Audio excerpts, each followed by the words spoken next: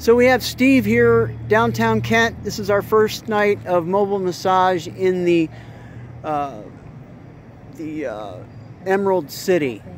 I don't know what that means.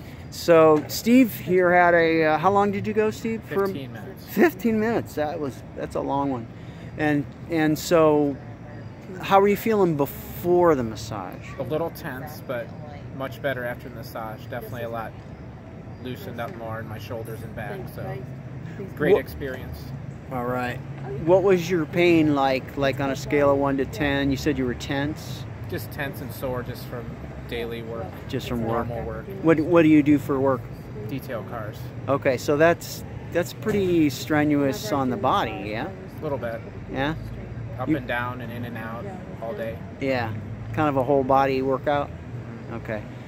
Um, so on a scale of one to 10, 10 being great, one being horrible, what was your feeling after the massage? Definitely a 10. Oh. Much more loose and limber and upper body much better. Okay, great. Would definitely recommend it and would go back. All right, Steve. Thank you so much.